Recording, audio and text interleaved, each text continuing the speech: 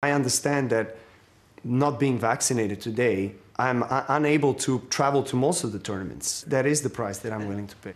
I'm extremely surprised with Novak's statement. I would never ever think that uh, that would be his choice. We all know that he's competing to become the greatest of all times. He's competing with Rafa and Roger. He's in the best possible position. He's the youngest of the three. He's the one that is winning the more Grand Slams every year average. And he puts his belief in not uh, getting vaccinated above this race to become the greatest. So that's extremely powerful. It just shows the type of person he is, and I say it in a positive way. He has very strong beliefs, and he has the guts to stand by his beliefs, whatever the situation is.